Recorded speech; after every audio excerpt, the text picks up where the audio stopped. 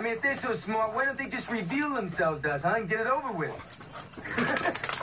Why don't they reveal themselves to us is because if they did, it would cause a general panic.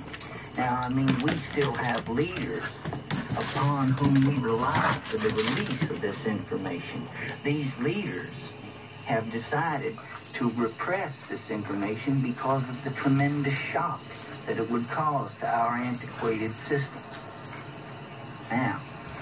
The result of this has been that the Venusians